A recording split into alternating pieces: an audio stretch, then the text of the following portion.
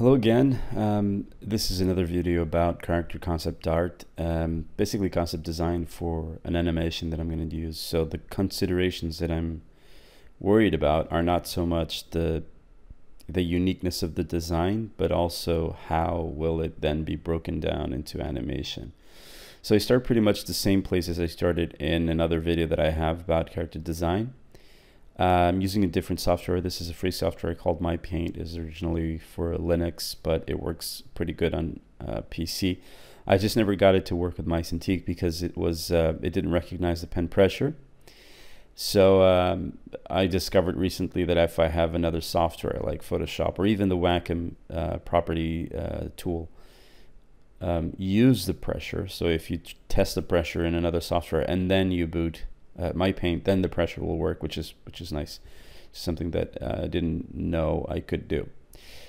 The problem with MyPaint is that there's you know there's not a, as much selection tools like there is in Photoshop, and you know it's pretty much just sketch, sketch, sketch. You make a mistake, you start another one because it's too too annoying to erase. Uh, so, so, it's really good for practicing because you don't you don't um, uh, use any sort of line economy. You just draw a lot. So in this case, I, I just made a note to actually draw the hair shape as I wanted it to be. And I uh, sort of have that set to be something that I will uh, that will have um, validity uh, afterwards. That I'll keep referring to that little hairstyle, and that will be that will be the final hairstyle for the design. In this case, I'm explaining where I want to put my pivot points and how that influences, especially if the head's going to be really big then it's obvious that I'll need to, the arms to be long enough that they can go over the head. And then there's the problem of the shoulder pads, uh, which are going to be difficult to rotate because they are not uh, in an angle that is useful for them to be rotated, you know, because you can only rotate things on, in the case of 2D, you can only rotate them in the screen space Z axis. So the screen normal.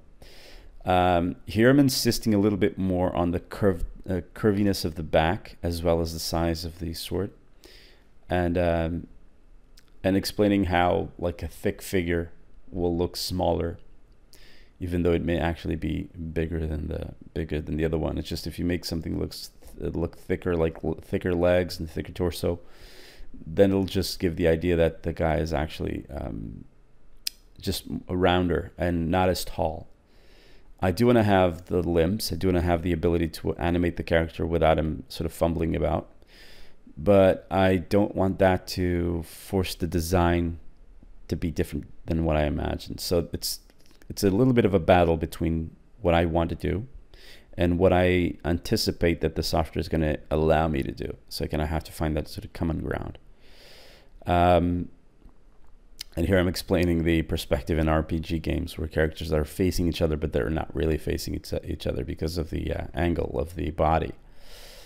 Um, so there's a lot of, because again, because this was a, a, a streaming uh, session, there's a lot of explaining why I'm doing what I'm doing. And some of these are very uh, contextualized to what I was saying at the time, which I have to be honest with you, I don't exactly remember everything but I do um, kind of remember the gist of it. So in this case, uh, uh again, drawing the arms is fairly important because it gives me, right away, it gives me a, a notion of size. So as you can see, I'm referring back to that hairstyle, um, trying to get that to look um, to look the same as it was previously, and and talking about the angle there of the body, I sort of maybe uh, a character lean forwards a little too much. Um, so that's something that would have to be fixed afterwards, either by skewing the graphic and before I start painting it, or just by overall uh, redrawing the pose, especially of the legs. If I move the legs, especially the feet, if I move it a little bit closer, then it would be nicer.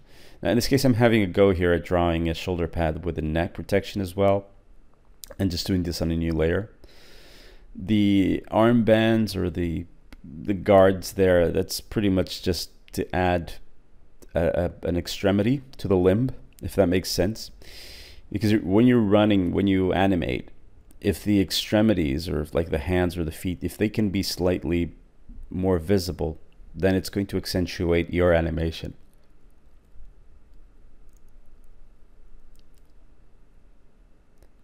it's uh, not unusual that you'll find people animating with um, with editor edited um, graphics, like if just make the feet and hand look different and the head as well, just so that they, they stand out when you're uh, when you're drawing. You see, I added a cape there, but gave it away.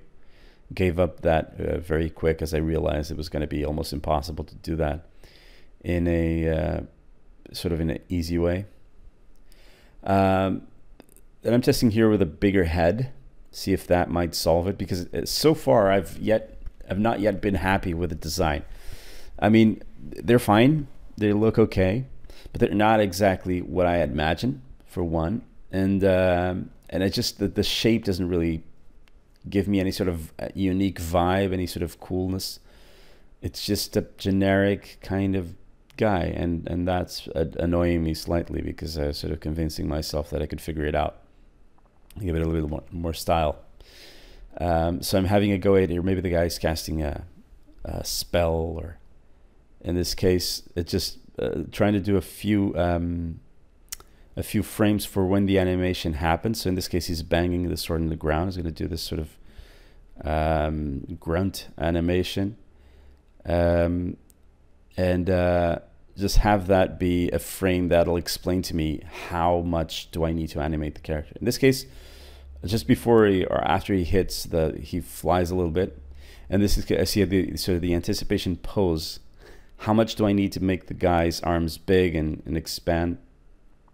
And that kind of, and that's kind of cool to anticipate a few things. Okay, so it's always nice to try and draw those keyframes before um, and that was me just going frame one, two, three, and four, um, not any sort of sequence. Again, the problem with the rotation of objects that are 3D is that you can only draw them in this direction. So making a, a 3D object tilt up and down, it would be complicated. Um, so for example, this arm, if you wanted to rotate it to this position, you definitely have to create a different sprite. You can't just go in and, and spin something. But this position here, you can animate it quite easily just by having those pivot points and rotating the, uh, the, the, different pieces that build up the arm.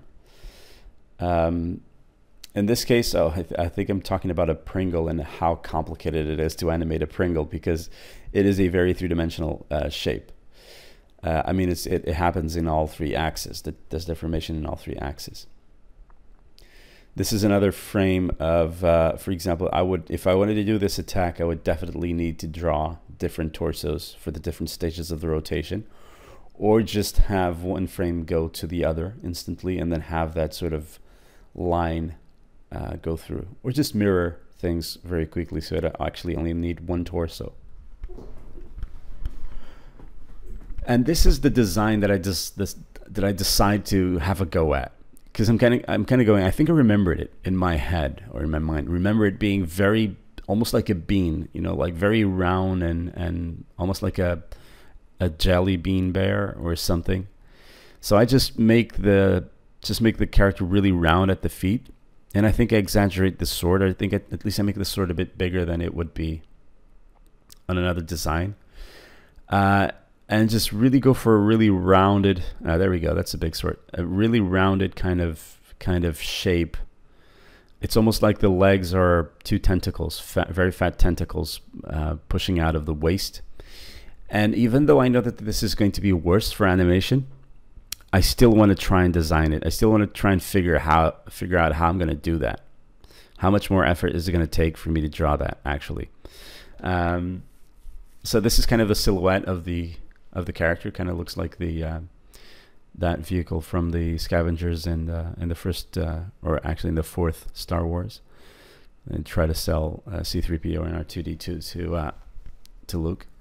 Uh, this is a little bit more in-depth design. This only happens when you're kind of happy, or at least I only tend to do it when I'm kind of happy with the design, which is to figure out the shapes afterwards. So this would be the boot, and this would be the boot from the front view and I'm trying to interpret the shape because I really have to get to know the 3D-ness of the shape, so the volume of the shape, so that I can then replicate it um, fairly well. In this case, I don't want to do the like big wrist thing. I want to do it like a continuous uh, shape, like the there the badminton. Uh, is it a ball? It's not called a ball. I think the feather. Uh, and I'm also trying to figure out In this case, I think I'm just explaining what the um, sort of what the volume is of the uh, of the leg piece. So it's kind of a a cup that had, had is uh, or has had its uh, top cut in an angle. Uh, and then obviously there's the uh, necessity for drawing the angle to cover up the leg or the sorry the the foot so that it swivels on that. In the case of the chest, I'm trying to figure out a very rounded chest shape in which I'm going to sit my um, my shoulder pads or if it's going to be a, a, like a chest piece, an armor chest piece. But I think in the end, I actually leave it as um, I just leave it as um, as a cloth piece and just the shoulder pads attached on there. Actually, I don't even know how the shoulder pads get attached, but that's fine. Um, and I was explaining that you don't want to leave big surfaces all that empty because then they become fairly boring. I mean, sure, not everything has to have an, an insane amount of detail, but just a little bit more. And this, I think, I'm making reference to the uh, to the Phoenix armor in Saint Seiya, I think it was. And this is just a request from the from the chat. Someone asks to draw a star uh, for some reason. And uh, so yeah, I'm really happy with this one, with this design, and this is the one that I'm going to stick to. That I'm going to shade and illustrate, and then uh, eventually separate into different parts, so that I can animate it. And this is the uh, the labors of uh, of this uh, streaming session. So that was it, designing and kind of refining a little bit of a shape of a character uh, so that I can then use it for animation.